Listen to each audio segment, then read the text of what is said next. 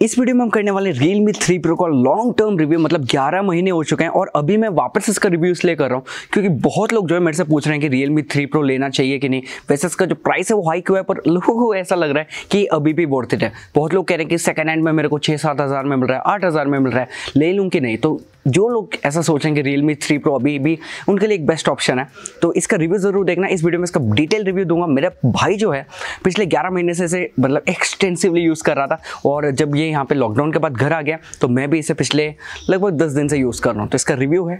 Video पसंद आया तो लाइक करना शेयर करना सब्सक्राइब ज़रूर कर लेना। वीडियो को शुरू करते हैं। शुरू करेंगे इसके बिल्ड क्वालिटी से इसमें आपको पॉलीकार्बोनेट बैक मिल जाता है और एक साल बाद मैं बताऊँगा कि यार it has held up well मतलब इतना ज़्यादा बुरा हालत भी नहीं हुआ है। ऑफकोर्स इसमें आपको थोड़ा सा स्क्रैचेस देखने को मिल जाता है। वो है यार पॉलीकार्बोनेट बैक आपको देखने को मिलेगा। और सबसे बुरा चीज़ जो मेरे को लगा, इसका जो कैमरा बम्प है, उसके अराउंड इन्होंने क्रोम का लेयर दे रखा है। वो उतर गया और बहुत ही ज़्यादा गंदा चीप टॉयस वाली लुक देता है। उसके अलावा अगर मैं बताऊँ, भाई ऐसा बता रहा था कि उसने लगभग बीस तीस बार तो इसे गिराया होगा। ना इसके पीछे आपको कुछ प्रॉब्लम हुआ, ना आगे प्रॉब्लम हुआ। पीछे इसलिए प्रॉब्लम नहीं हुआ क्योंकि पॉलीकार्बोनेट है और भाई जो है मोस्टली प्रेफर करता है कि बिना केस का यूज़ करे। तो ओवरऑल बिल्ड क्वालिटी वाइज आपको प्रॉब्लम नहीं आएगा। सामने की तरफ़ आपको 6.3 इंचेस का एफ़ प्लस डिस्प्ले देखने को मिल जाता है। व्यूइंग एंगल्स एक्सलेंट है सनलाइट लेजिबिलिटी और भी एक्सलेंट है। और मज़े की बात यह है कि इसमें जो सामने है आपको कॉर्निंग गोरिल्ला ग्लास 5 का प्रोटेक्शन देखने को मिल जाता है।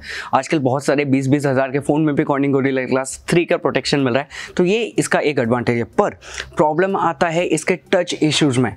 हर जगह आपको टच इश्यूज़ देखने को मिलेगा। अगर आप कैमरा को ऐप जो है ओपन करते हो और वीडियो बनाते हो, उसके बाद उसे बंद करने के लिए आपको दो तीन बार प्रेस करना पड़ता है, क्योंकि वो बिल्कुल काम ही नहीं करता। ये सब मेरे को ऐसा लगता है कि सॉफ्टवेयर बेस्ड प्रॉब्लम है। अपडेट के साथ ठीक हो जाएगा, पर क्या इस टाइम के बाद अपडेट आएगा? ये यार मेरे को कंफर्म नहीं है। क्या रियल इसके ऊपर काम करेगा? क्योंकि यार लगभग लगभग ये फ़ेज़ आउट कर रहे हैं इस मॉडल को। और रिसेंटली मैंने ये भी नोटिस किया कि पबजी में, भाई ये भी बता रहा था कि पहले छः महीने तो पबजी काफ़ी बढ़िया चलता था, पर अभी पबजी में काफ़ी सेटिंग्स के अंदर वो पहुँच भी नहीं पाता क्योंकि टच इश्यूज़ इतना है कि वो बटन काम ही नहीं करते तो ओवरऑल डिस्प्ले वाइज अगर आपको मीडिया कंसेप्शन के लिए बढ़िया स्मार्टफ़ोन चाहिए तो बढ़िया रहेगा। जब आप खरीदोगे इसे नया नया बिल्कुल बढ़िया काम करेगा, पर क्या ग्यारह महीने बाद उसका टच बढ़िया काम करेगा? इसका मैं गारंटी नहीं दे सकता, क्योंकि इसका टच जो है ख़त्म हो गया है। परफॉर्मेंस कैसा है? Realme 3 Pro का एक साल के बाद। भाई बताता है कि डिसेंट है और इसके स्मार्टफ़ोन को अगर आप देखोगे ना तो इसमें दुनिया के लगता है कि आधे से आधा ऐप्स जो है इसने इंस्टॉल कर रखा है। फिर भी कहते हैं कि मल्टी करते वक्त या कुछ भी चीज़ें करते वक्त डे टू डे यूसेज में ज़्यादा लैग देखने को नहीं मिलता। ज़्यादा बता रहे हैं मतलब ऐसे नहीं कह रहे कि बिल्कुल लैग नहीं है, ज़्यादा लैग देखने को नहीं मिलता कि मतलब अनयूजेबल हो। पर हीटिंग इश्यूज़ इतना ज़्यादा सीवियर है। अगर आप इसमें यूट्यूब वीडियोस देखोगे या व्हाट्सएप चलाओगे व्हाट्सएप चलाते हुए तो आप म्यूज़िक भी सुन रहे हो तो एक डेढ़ घंटे बाद ही आपको सीवियर हीटिंग इशू देखने को मिलेगा। और भाई ऐसा बता रहा था कि पबजीज का बढ़िया चलता है ग्राफिक्स बढ़िया है जायरोस्कोप काफ़ी बढ़िया है। आ, मतलब ऐसा है कि आप इसे स्मूथ पे अल्ट्रा तक खेल सकते हो तो कोई प्रॉब्लम नहीं है फ्रेम रेट्स भी डिसेंट मिलता है।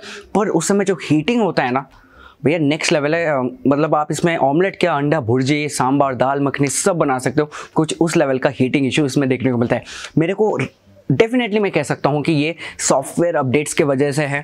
पहले ऐसा नहीं था, पहले छः सात महीने पहले भी ऐसा नहीं था। भाई बता रहा कि छः सात महीने पहले भी ऐसा नहीं था। उसके बाद जो अपडेट्स आए थे, दरादर अपडेट्स आए थे, उसके बाद ही इसका जो हीटिंग इशू है, वो काफ़ी ज़्यादा सीवियर होने लगा है। बैटरी लाइफ के बारे में मैं तो ज़्यादा नहीं कह सकता, पर भाई ऐसा बता रहा है कि यार, एक दिन का यूसेज मिल जाता है। मतलब ऐसा कि पहले उससे ज़्यादा मिलता था, पर ओके जानते हैं कि भाई स्मार्टफ़ोन के जो बैटरीज होते हैं, वो डिग्रेड होते हैं और इतना ज़्यादा हीटिंग इशू बढ़ गया तो यार ऑफकोर्स बैटरी लाइफ और ज़्यादा बेकार होना ही था। तो पर फिर भी आपको एक दिन का यूसेज देखने को मिल जाएगा। पर इसकी अच्छी बात यह है कि इसमें आपको वूक 3.0 का चार्जिंग देखने को मिल जाता है। मतलब आप इसे लगभग लगभग एक घंटे के अंदर फुल चार्ज कर सकते हो। और चार्जिंग करते वक्त ना स्मार्टफ़ोन हल्का सा हीट होता है और जो ब्रेक है, जो चार्जिंग ब्रेक है, वो काफ़ी ज़्यादा हीट होता है which I don't think is a problem पर बैटरी लाइफ ये स्ट्रिक्टली आपको एक दिन का बैटरी लाइफ देखने को मिलेगा। सॉफ्टवेयर वाइज कैसा है? इसमें आपको रियलमी यू का भी अपडेट आ गया है एंड्रॉइड टेन का भी अपडेट आ गया और मेरे को लगता है कि उसके बाद जो एंड्रॉइड वर्जन आएगा, उसका भी अपडेट आ जाएगा। पर प्रॉब्लम यही है कि अपडेट्स के बाद ना इसका परफॉर्मेंस और हीटिंग इशूज़ काफ़ी ज़्यादा बढ़ गया। परफॉर्मेंस में आपको लैग देखने को मिल जाता है टच इशूज़ जो है काफ़ी ज़्यादा सीवियर हो गया इतना तक कि आपका जो कैमरा ऐप है, उसमें भी टच इशूज़ देखने को मिल जाएगा। तो ओवरऑल अपडेट्स तो दे रहे हैं सिक्योरिटी पैचेस लेवल भी आता रहता है, पर मेरे को लगता है कि कहीं ना कहीं जो अपडेट्स है, उन्होंने मैसअप कर दिया इसके परफॉर्मेंस के साथ और टच इश्यूज़ के साथ। तो ओवरऑल बस हाँ यार, आपको लेटेस्ट सॉफ्टवेयर मिल जाती है पर परफॉर्मेंस वाइज बहुत ही ज़्यादा डिग्रेड कर देती है वो सारी अपडेट्स कंक्लूजन से पहले इसका सेल्फी और रियर कैमरा के बारे में बात कर लेते हैं। मैं कहूँगा कि यार इसका जो रियर कैमरा है, वो डिसेंट है। काफ़ी ज़्यादा शार्पनेस देखने को मिल जाता है अगर आप जूम करोगे भी, जबकि सिर्फ़ सिक्सटीन का है। उसके बाद इसका जो डायनेमिक रेंज है, वो अभी भी बढ़िया है। मैं इसे कंपेयर कर रहा हूँ ग्यारह महीने के बाद। ग्यारह महीने के बीच में काफ़ी सारे अपडेट्स भी आएँगे, उसके बाद क्या परफॉर्मेंस बिगड़ा है या कम हुआ, इसके बारे में बात कर रहा हूँ। तो रियर कैमरा इज़ डिसेंट पर सेल्फी कैमरा में नोटिस कर रहा हूँ कि शार्पनेस उतना ज़्यादा नहीं, पच्चीस मेगा का सेल्फी कैमरा है शार्पनेस उतना ज़्यादा देखने को नहीं मिलता है। और थोड़ा सा ना ये जो एच है, वो भी नहीं है, थोड़ा सा डायनेमिक रेंज बिगाड़ देता है। अगर पीछे से लाइट आ रहा है ना तो बहुत ही ज़्यादा ओवर शार्पन या ओवर एक्सपोज कर देता है। पहले ऐसे नहीं करता था। पहले इसका जो सेल्फी सैम्पल्स आते थे ना, इतना ज़्यादा क्रिस्प होता था। मेरे को याद है जब मैंने पहली बार इसे अनबॉक्स किया था चैनल पर तो उस समय भी मैंने सेल्फीज़ का बहुत ज़्यादा तारीफ़ कर रहा था। तो अभी जो है, कहीं ना कहीं अपडेट्स के साथ ये ख़त्म हो गया। अभी आते हैं कंक्लूजन पे, क्या आपको स्मार्टफ़ोन को ख़रीदना चाहिए? मैं कहूँगा बिल्कुल भी नहीं।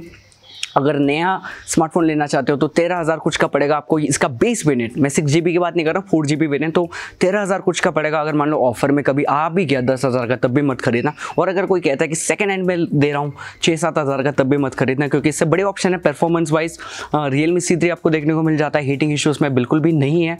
और थोड़ा सा वेट करना है, क्योंकि आपका नार्जो टेन भी आ रहा है रेडमी का नोट नाइन भी बताया जा रहा है कि एक बेस वेरियंट टाइप आ रहा है, वो भी आप खरीद सकते हैं। दस हज़ार या ग्यारह हज़ार के आसपास होगा। और अगर आप तेरह हज़ार ही खर्च करना चाहते हो तो Redmi Note 9 Pro मिल जाएगा, Realme 6 मिल जाएगा मतलब आप किंग कह सकते हैं गेमिंग का उस प्राइस रेंज में। तो ओवरऑल मैं बिल्कुल भी सजेस्ट नहीं करूँगा कि ये वाला स्मार्टफ़ोन आप खरीद लो।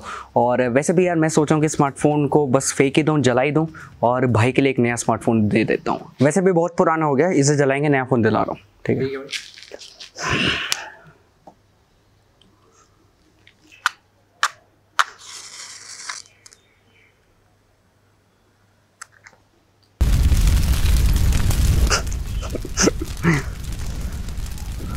तो भाई कौन सा फ़ोन दिला रहा है? फ़ोन कौन दिला रहा है? ये तो मैं ऐसी वीडियो के लिए कर रहा हूँ यार। पागल है तू सीरियसली क्यों लेता है?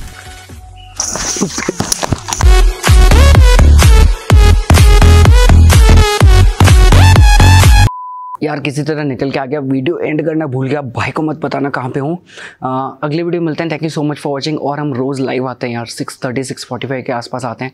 आ, पूछ लेने यार आके कि हालत कैसे है। अगले वीडियो मिलते हैं। Thank you so much for watching bye